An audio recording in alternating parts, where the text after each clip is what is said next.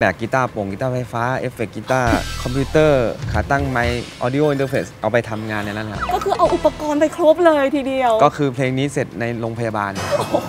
อย่างนั้นนะอย่างนั้นเลยอย่างนั้นเลยอย่างนั้นเลย แต่ MV เนี้ยเราก็คุยกับทีมงานเฮ้ยเราแบบหานักแสดงให้เขามา เรียกว่าอะไรถ่ายทอดความรู้สึกเถอะแล้วเราก็ไปอยู่เฉยๆข้างหลัง